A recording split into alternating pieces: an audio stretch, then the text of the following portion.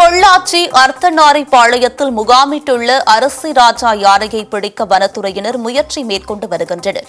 பொள்ளாச்சியை அடுத்த மேற்கு தொடர்ச்சி மலையடிவாரத்தில் அமைந்துள்ள அர்த்தநாரிப்பாளையம் கிராமத்திற்குள் அடிக்கடி புகுந்து அரிசியை விரும்பி உண்பதால் இந்த யானைக்கு அரிசி ராஜா என்று பெயரிட்டு அழைக்கிறார்கள் அப்பகுதி மக்கள்.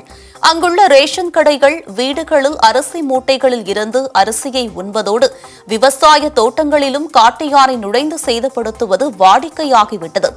மாக்காளி என்ற முதியவர் ஆறு வயது சிறுமி ரஞ்சனா ஆகியோரை கடந்த மே மாதம் தாக்கிக் கொன்ற இந்த யானை ராதாகிருஷ்ணன் என்ற விவசாயியை சில தினங்களுக்கு முன்பு அடித்துக் கொன்றது. இதனால் யானையை பிடிக்க வேண்டும் என்று அர்த்தநாரி பாளையம் மக்கள் கோரிக்கை விடுத்ததை அடுத்து யானையை பிடிக்க எழுபதுக்கும் மேற்பட்ட வனத்துறையினர் அங்கு முகாமிட்டுள்ளனர். யானையை பிடிக்க மாவட்ட வன அலுவலர் வெங்கடேஷ் ஆனைமலை புலிகள் காப்பக இணை இயக்குநர் மாரிமுத்து கால்நடை மருத்துவர் சுகுமார் உள்ளிட்டோர் அடங்கிய குழுவினர் முகாமிட்டுள்ளனர். அதனை பிடித்த பின்னர் டாப் ஸ்லிப் வரகடியார் யானைகள் முகாமில் வைத்து வளர்ப்பு யானையாக மாற்ற வனத்துறையினர் திட்டமிட்டுள்ளனர்.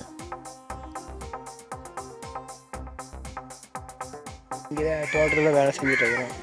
ஒரு வாரமாக யானை தொந்தரவு. அதனால் காலையில் காலையில் நேரமே பால் கறந்துட்டு மத்தியானம் மூணு மணி ஆனாவே கோயில் மேலே போய் படுத்துக்குவோம்.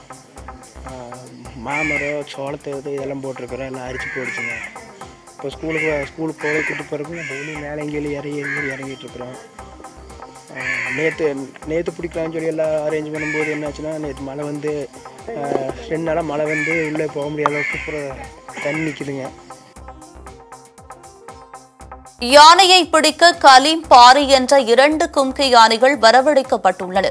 யானைக்கு அரிசி என்றால் மிகவும் பிடிக்கும் என்பதால் அரிசியை கொட்டி வைத்து அதனை மயக்க ஊசி செலுத்தி பிடிக்க வனத்துறையினர் திட்டமிட்டுள்ளனர்.